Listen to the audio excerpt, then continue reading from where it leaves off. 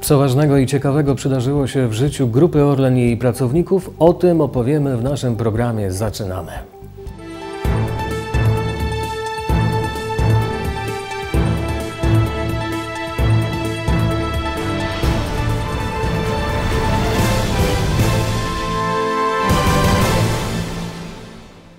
Grzegorz Szołkowski, dzień dobry. Poznajmy najważniejsze tematy tego wydania.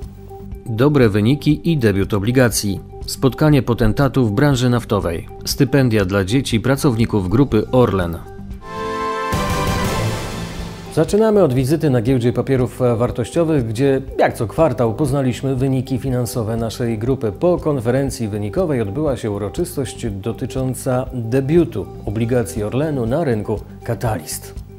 Obecni na konferencji goście spędzili ją przy filiżance kawy lub kubku gorącej czekolady dostępnych na co dzień na stacjach Orlen w strefie Stop Cafe. Wyśmienity smak dopełnił dobrych informacji płynących z konferencji wynikowej. To jest wyjątkowy kwartał. Zawsze mówimy, że największy wpływ na, nasze, na naszą działalność, na nasze wyniki mają czynniki makroekonomiczne, a tym razem możemy się pochwalić, że tak naprawdę największy wpływ na ich poprawę i na jakość wyniku ponad 3 miliardowego miał wzrost y, wolumenów. I to jest coś, z czego możemy być naprawdę dumni, bo widać, że to operacje wykorzystały doskonałą sytuację rynkową.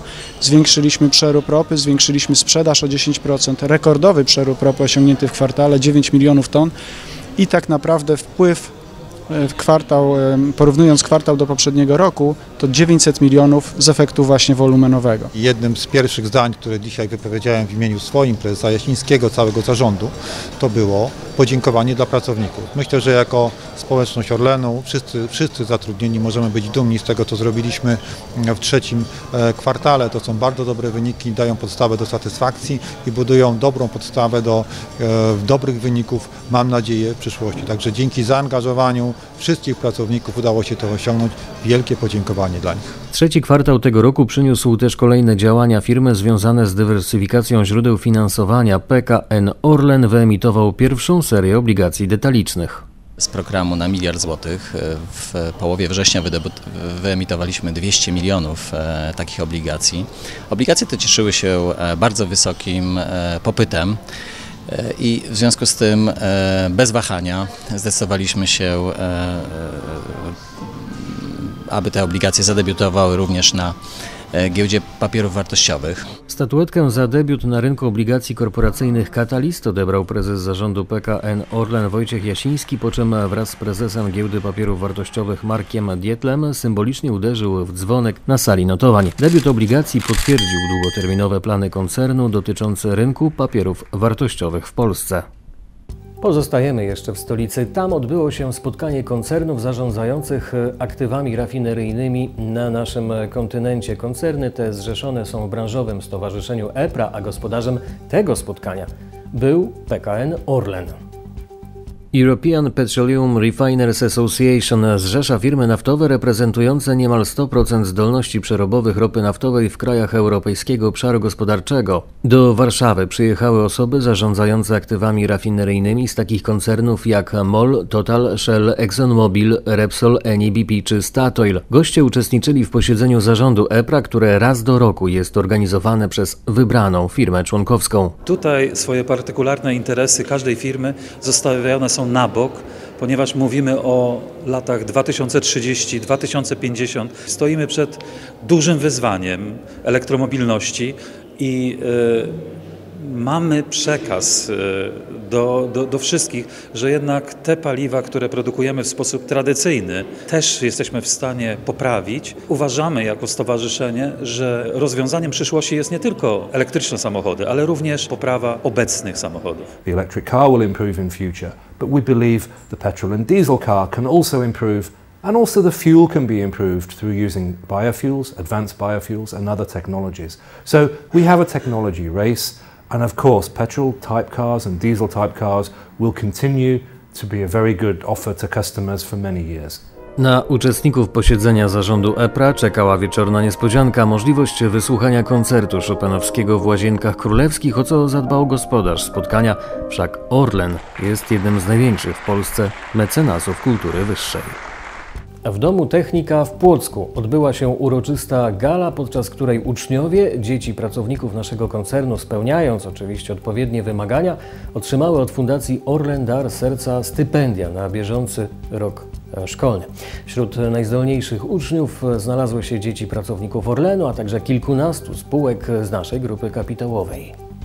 Fundacja Orlendar Serca przyznała stypendia dzieciom pracowników już po raz trzeci. Podczas naboru do tegorocznej edycji do biura fundacji wpłynęła rekordowa liczba 177 aplikacji. Po rozpatrzeniu każdej z nich stypendia otrzymało aż 106 uczniów z całego kraju. Uczęszczam do dwóch szkół, ponieważ jedne to są e, gimnazjum, a drugie to jest szkoła muzyczna i e, obecnie uczę się grać na skrzypcach. Poza tym mam bardzo dobre wyniki w szkole, w gimnazjum mam dobre oceny i uczestniczę też w różnych konkursach, szczególnie z przedmiotów ścisłych. Miałem dosyć wysoką średnią, miałem średnią 4,92 i według mnie w sumie, według mnie to jest po prostu całkiem dobra średnia. Oraz właśnie osiągnięcia sportowe, które miałem w ubiegłym roku, e, różne mistrzostwa zagraniczne, krajowe. I myślę, że głównie, głównie te mistrzostwa różne, te, te osiągnięcia sportowe zadecydowały na tym, że dostałem to stypendium. Szansę na stypendium mieli uczniowie, którzy na swoim ostatnim świadectwie osiągnęli średnią na poziomie minimum 4,7. Dodatkowo premiowane były także osiągnięcia naukowe i pozanaukowe, np. sportowe czy artystyczne. Punkty można było także otrzymać za udokumentowane zaangażowanie społeczne. Warunkiem koniecznym było pisanie formularzu aplikacyjnym działalności lokalnej organizacji pozarządowej. Akty stypendialne wręczyli stypendystom Wiesław Protasewicz, członek zarządu Orlenu do spraw finansowych oraz prezesi i członkowie zarządów spółek uczestniczących w programie. Zwieńczeniem gali było spotkanie z zawodnikiem Orlen Kubą Przygońskim, który opowiadał o swojej pasji, sukcesach i porażkach sportowych, ale także o tym, jak łączył treningi z nauką. Nauka y, no, jest niezbędna na pewno i każdy sportowiec, y, chociaż czasem ma ciężko na pewno z tą nauką, bo musi być skupiony na treningach i na, no, na tym, co robi, a często sport zaczyna się w bardzo ma, małym wieku, e, więc trzeba łączyć sport z nauką. No, mi się to udało, chociaż naprawdę wymagało to ode mnie dużego zaangażowania, bo często było tak, że weekend byłem na zawodach, w tygodniu jeszcze treningi, wracałem na przykład w nocy po zawodach w niedzielę, no, rano oczywiście o 8 w szkole w poniedziałek i to nie był łatwy okres, ale teraz tak z perspektywy czasu cieszę się, że, że wtedy było tak dociśnięte i się udało to zrobić, bo, bo jakby jestem e, inżynier, magistrem inżynierem, inżynierem z Politechniki Warszawskiej, magistrem z SGH w Warszawie, więc e, jakby no, naukowo jakby no, osiągnąłem to, co powinienem.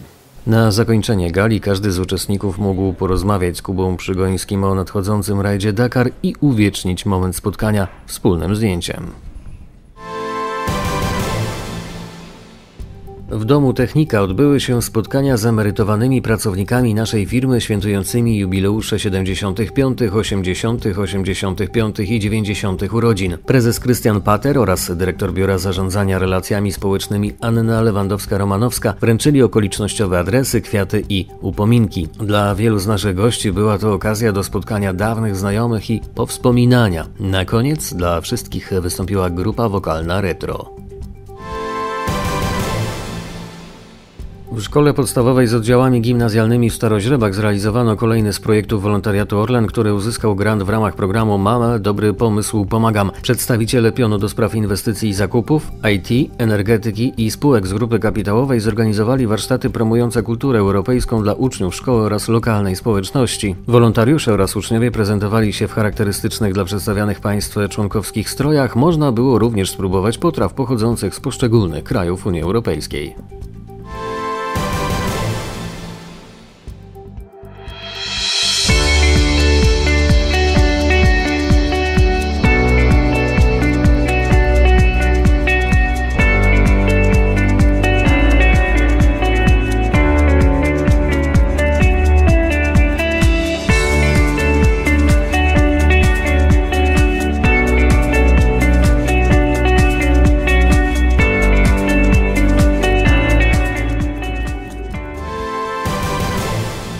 To jak dużą wagę przywiązuje się do bezpieczeństwa pracy i pracowników w zakładach produkcyjnych naszej grupy jest chyba dla wszystkich jasne.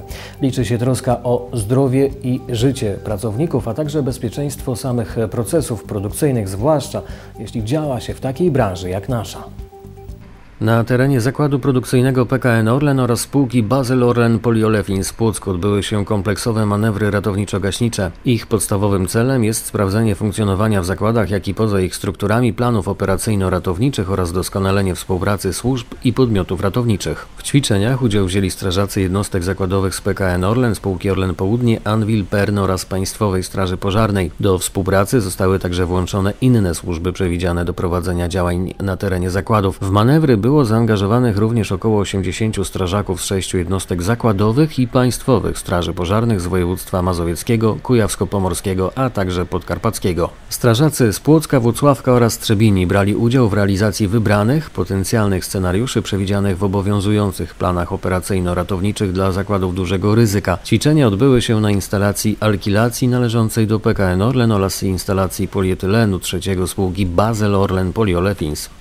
Zakładowa Straż Pożarna y, PKN Orlen należy do Krajowego Systemu Ratowniczo-Gaśniczego. Zobowiązuje nas to do y, zachowania gotowości i czujności w przypadku jakichkolwiek potrzeb y, pożarowo-ratowniczych w skali kraju, więc przybliżając to w języku potocznym, jeżeli gdzieś będzie bardzo poważny pożar, jest potrzeba zadysponowania jakichś samochodów bojowych, środków gaśniczych, ludzi, jesteśmy gotowi to wykonać. Po zakończonych manewrach odbyła się wystawa sprzętu ratowniczego oraz szkolenie dotyczące doskonalenia technik gaszenia. Podpalone zostały substancje palne umieszczone na betonowej, szczelnej tacy ćwiczebnej o powierzchni ponad 200 m2 znajdującej się na terenie Orlenowskiej Zakładowej Straży Pożarnej. Przeprowadzone ćwiczenia to cykliczne manewry, które odbywają się na terenie zakładu PKN Orlen w Płocku co 3 lata.